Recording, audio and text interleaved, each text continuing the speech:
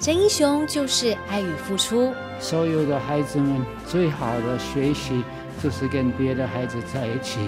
真英雄就是永不放弃。在我失去亚运金牌的同时，很多人的支持跟陪伴，那我相信这一切都是最好的安排。真英雄就是勇于创新。要将台湾人的太空梦向武汉的太空，台湾加油！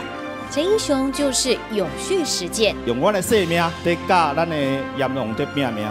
默默无名的小人物，壮大我们所爱的台湾，让世界看见台湾的美好。二零二四 Hero A Taiwan 第二届台湾真英雄真见，欢迎您来推荐。